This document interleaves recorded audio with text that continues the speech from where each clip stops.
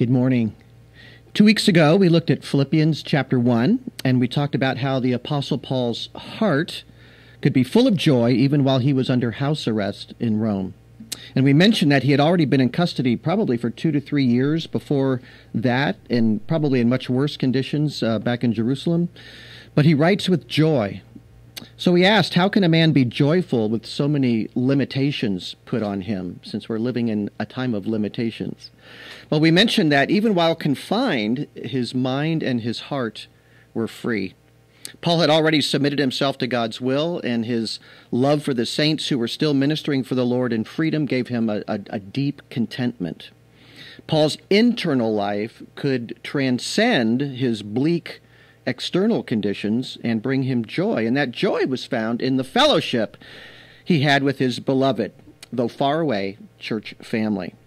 He had not seen them for years, but he communicated with them by letters and through messengers, his uh, ministry team members who would relay the news from him to them and from them to him. And with the Philippians, he had received good news.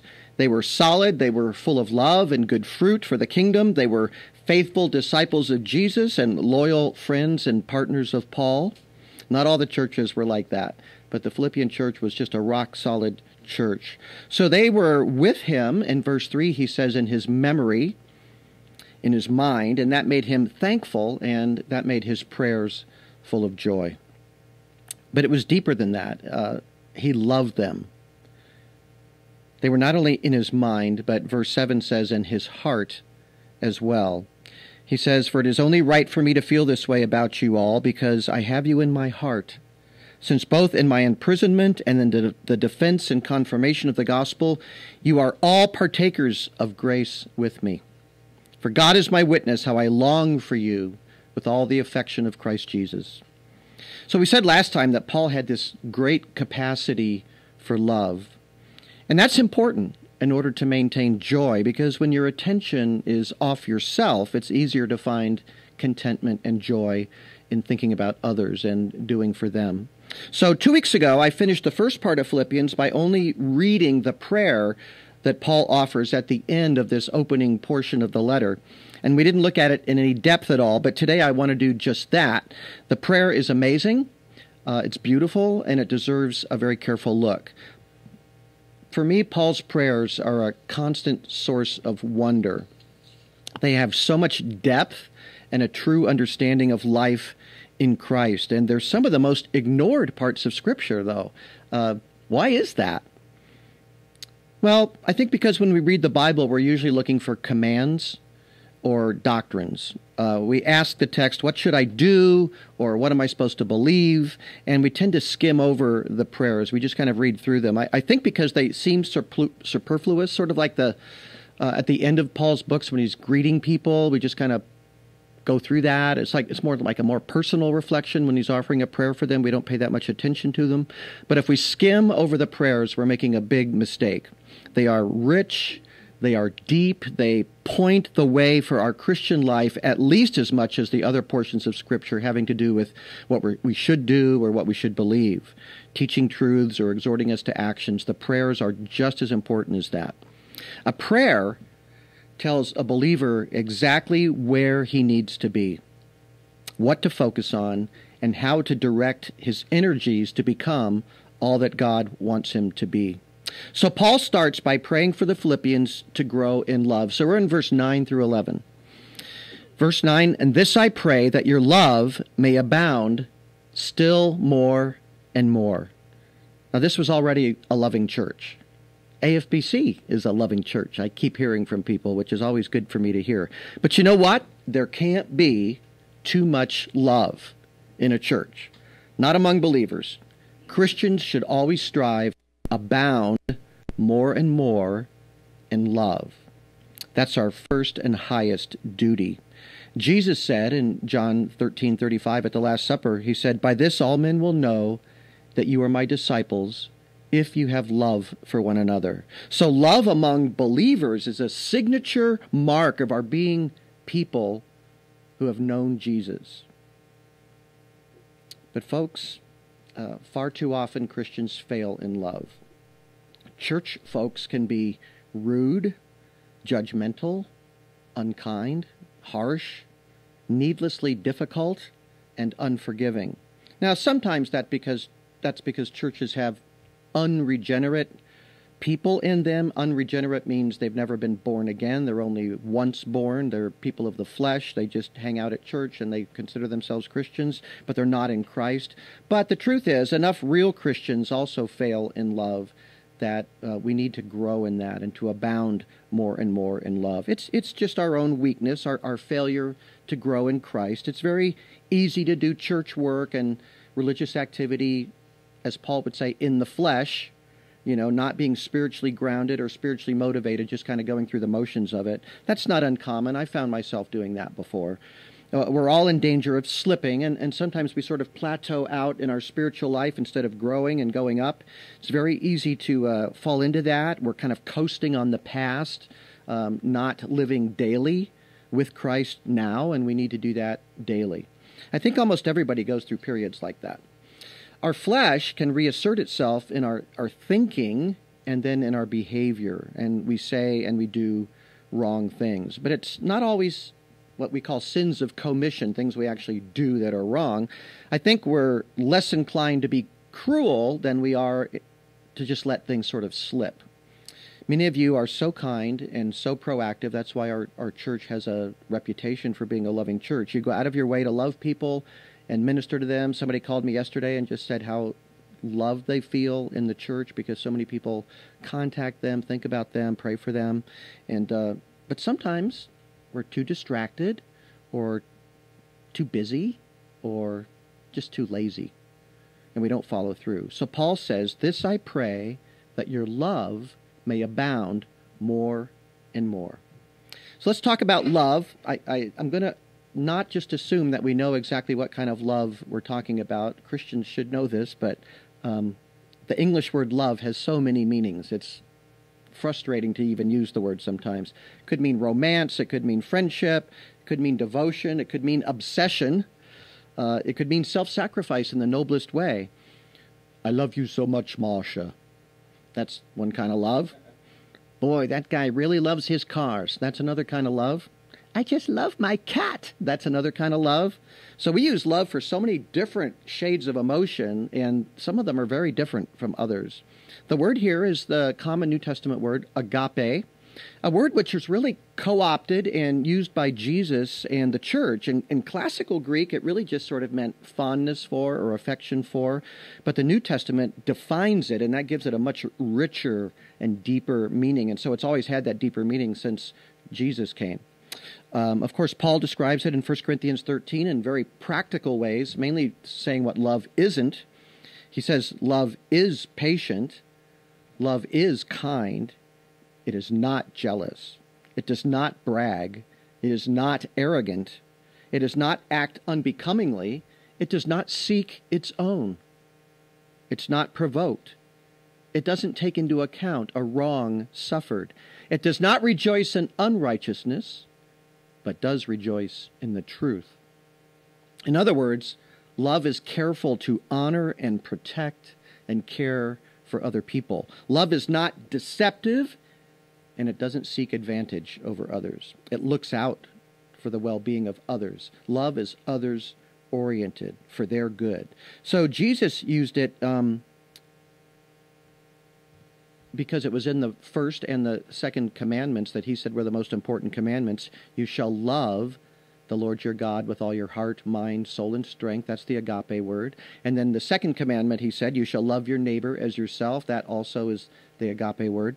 Uh, commitment, care, honor. Agape is others oriented. It's the opposite of obsessive love or um, possessive love. It's not about self. It's about the it's about the good of the other person. So it always seeks what's best for the one loved. And if you find yourself being selfish, you're not loving. So um, I know popular culture says to love yourself. You already love yourself more than enough. Um, the goal is to love other people as much as you love yourself. So that's the kind of love we are to abound in more and more agape love, Christian love. Now, to expand more on that, Paul in Philippians 1 9 expands on how that love operates with two very important words. Okay? He doesn't say just abound more and more in love. He says abound more and more in love in real knowledge and all discernment. So, Paul wants our love to abound more and more in real knowledge and all discernment.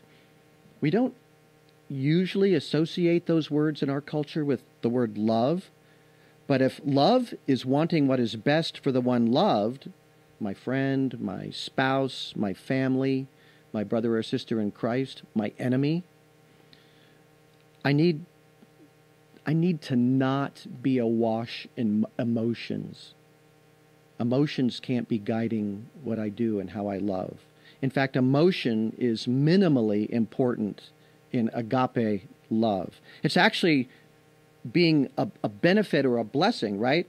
So you don't have to feel it as much as you have to do it. Obviously, there should be compassion behind it. In fact, the most common emotion word used of Jesus in the New Testament, uh, in, in his ministry and his life in the Gospels, is the word compassion. So compassion is the driving motivation, but the agape love is the doing of what's right or not doing what's wrong to the other person.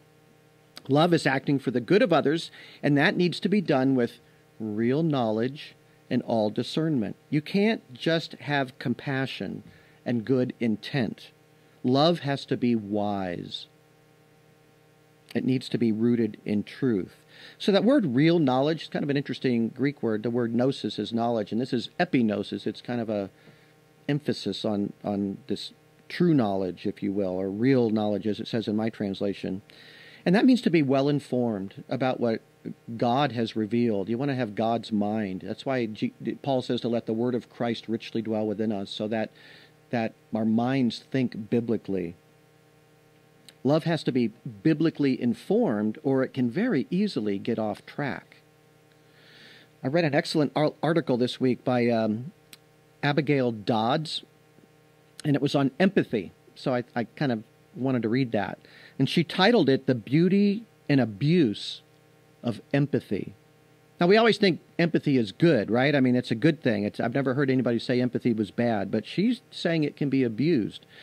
Really connecting and feeling with what others are feeling. That's, that's what empathy is, right? You, you're, you're so in tune with them that you kind of feel what they feel. It, it touches you very deeply. But what if what they are feeling is wrong? Or what if what they are feeling is self destructive?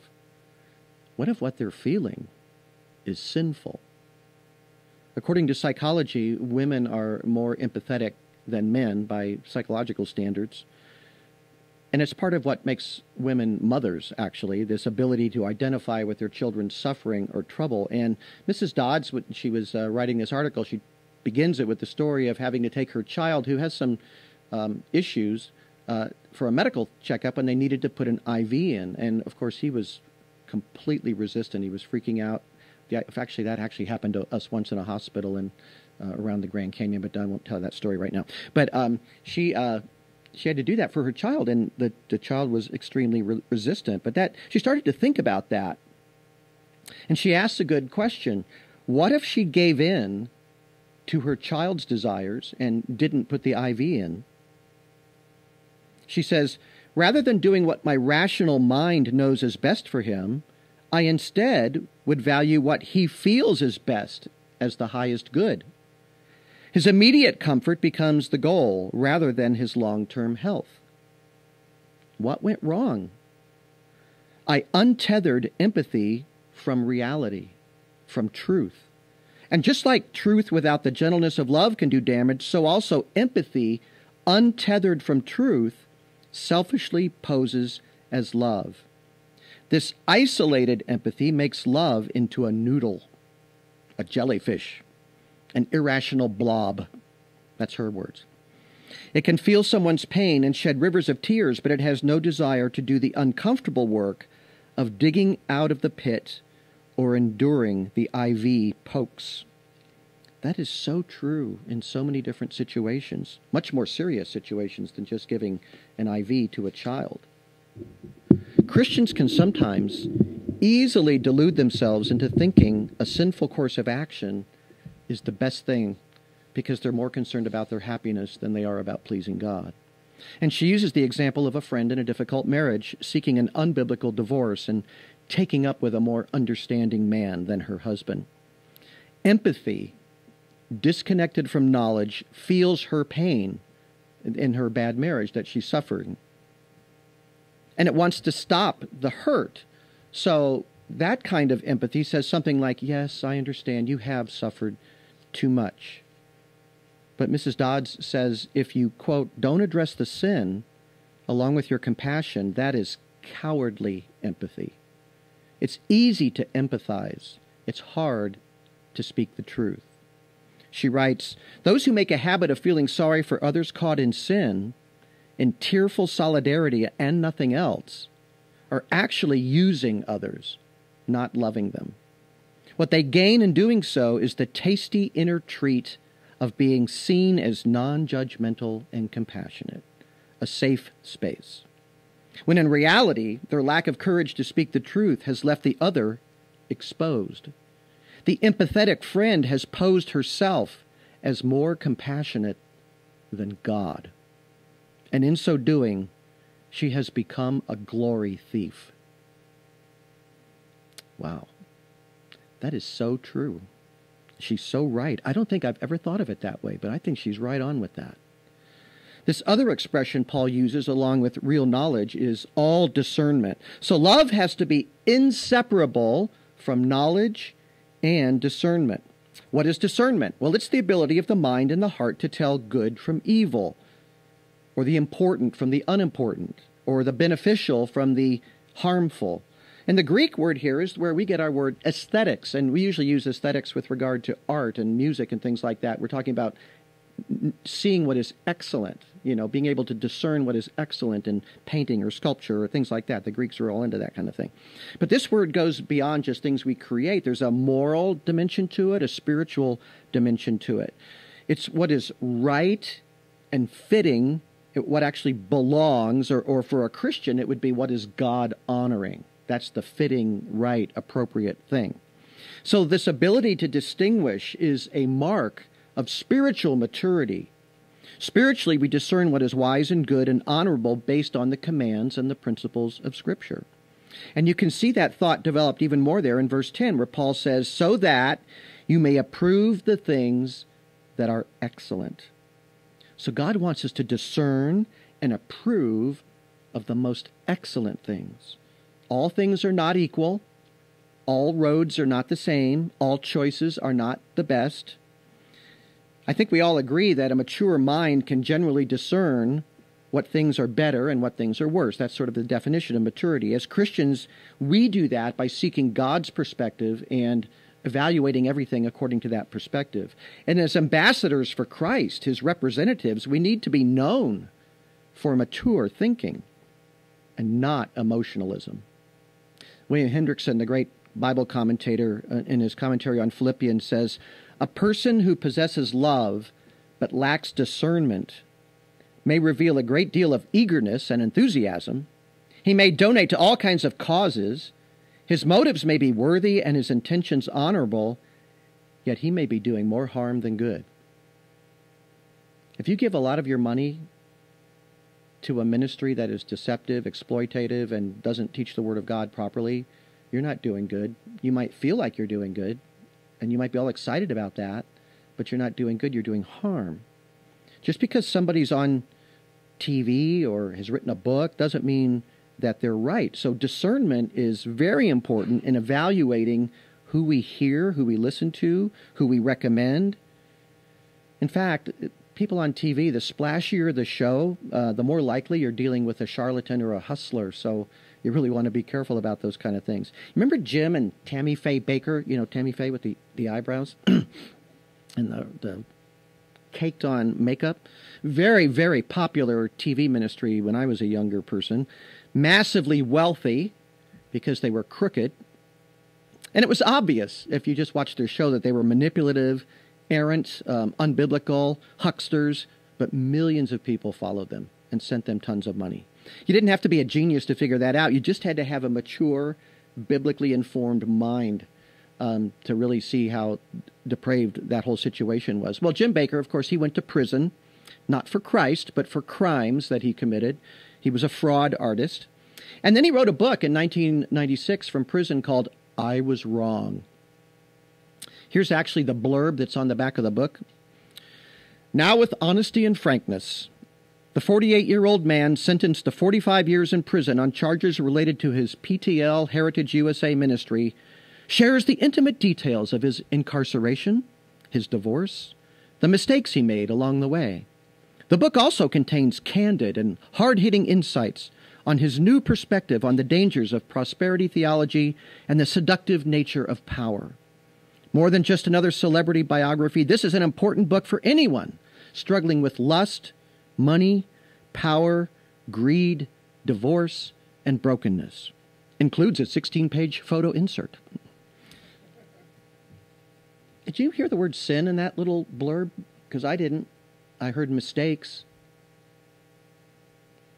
You know, it's really nice to say I was wrong because he was so obviously wrong, but he sinned a lot. I just saw this week uh, an investigative report on him today because he's back at it 24 years later. He's back on TV selling survival gear for the apocalypse. And his show is called Prophecy News Watch. And he has on many of today's most popular false prophets, kind of the second tier false prophets. And he sells a lot of worthless junk for very steep prices, unbelievably uh, worthless junk. And he started selling a cure for the coronavirus very recently. That's why his name got back into the media. And he said recently, he said, God spoke to me in the prison. This virus could be the last of the four horses. This is what it's about. And then he has a guy in his show saying 1.5 billion people could probably die from the coronavirus, which is totally bogus. And he said you won't be able to leave your house for years, and so you should buy these four tubs of survival food for only $1,600. And then he has a lady on selling colloidal silver solution, which is a cure. It's a cure. You can get two 16 ounce liquids, two 4 ounce gels, and three silver lozenges for only $125. This lady on his show actually says although it hasn't been tested on this coronavirus, it has cured other coronaviruses. It totally eliminated it within 12 hours. He stopped selling it because the government sued him for fraud, for posting, a, uh, promoting a fraudulent cure for something that is no colloidal, silver does not cure coronaviruses. There's zero evidence for that. Zero. So that's that's a big obvious example of the need for discernment, but discernment is needed every day, not only in those kind of things, but just our everyday lives. In big ways and small ways, we have to be discerning people, abounding in love, but with real knowledge and all discernment, so that we may approve the things that are excellent. You don't want to approve of things that are not excellent. You want to approve of things that are excellent. There's more. Verse 10 In order to be sincere and blameless until the day of Christ. Sincere means being the genuine article, and blameless means not causing other people to stumble. Sincere means real, blameless means not tripping up others. So we're ready to stand before our Lord, having dealt with our sin, having used wisdom to direct our love, and humbly pointed other people to the truth. That's how we want to come and stand before Jesus Christ, having lived that kind of life, a discerning life, abounding in love. So your life needs to count for Jesus by practicing love, guided by real knowledge and all discernment. There's just too much foolishness in our world. And there's way too much foolishness in the church world. You have to be discerning and not fall for a lot of unbiblical nonsense. Can Satan achieve any greater victory than to make Christians foolish in the eyes of the world and naive? Don't let him do that to you. Be mature in your thinking, be biblical, well grounded in Scripture. People that don't know Christ they don't need to see a perfect you, but they do need to see a mature person, a right thinking person, a person not given to foolishness. That's what they need to see. Our growth in Christ has to be real and detectable to the watching world. They need to see humility and kindness, faith and reason. So just go back to the previous example of Mr. Bakker and this is how discernment actually works. If somebody's been in the ministry for years and has become vastly wealthy, you're probably wise to not regard that person as a person of substance. Be very suspicious. And if they go to prison for fraud after years of Christian work and Christian ministry, you will have realized that your use of discernment was right all along, and you can pray for that person's repentance. But if that person writes a book called I Was Wrong, forgive him, but never trust him to be in the ministry again, because he would know that that's not an appropriate place for him. If he returns to TV as a huckster again, claiming divine revelation and cheating people out of their hard earned dollars, mark that person down as a servant of the evil one, because that's what they really are. He is a reproach to the most holy name of all, Jesus Christ, by misusing it every day. He mocks the king. So practice discernment that you may approve the things that are excellent. Especially pay attention to the misuse of Scripture and subtle ways that people exalt themselves as though they are closer to God than you are. If you see those things, run far away. Shun them. Okay, Paul's not done yet. He's got a little bit more. Verse 11. Having been filled with the fruit of righteousness, which comes through Jesus Christ. You know, you can't be righteous before God apart from Christ. You stand before God in the righteousness of Christ. It's actually credited to you, his righteousness, when you put your faith in him. In the same way, the fruit of righteousness, that's what he's talking about here, the fruit of righteousness cannot grow apart from Christ. It doesn't just happen. You have to be in an active, living relationship with him every day. Jesus said it best himself. Again, uh, John, John's Gospel, John chapter 15, verse 5. I am the vine, you are the branches. He who abides in me, and I in him, he bears much fruit. For apart from me, you can do nothing. Now, of course, you can do things, but nothing of substance, nothing of eternal value, nothing that's going to last, nothing like the fruit of righteousness. That can only be done in Christ. So, this love has to be His love in us. His love must abound through us, and His wisdom must be planted deeply within, within, within us. And as we walk with Christ and we grow in love and discernment, then the final piece of Paul's prayer comes into fruition. Verse 11 God is glorified, having been filled with the fruit of righteousness which comes through Jesus Christ to the glory and praise of God.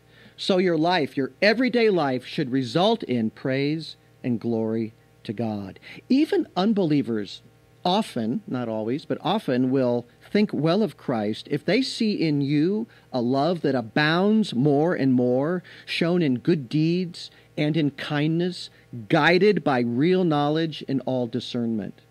That just makes you a person of quality, and people are drawn to that. And they know you're a Christian rebounds to the glory and the praise of God that you're seen that way. Most people are looking for something genuine. They really are.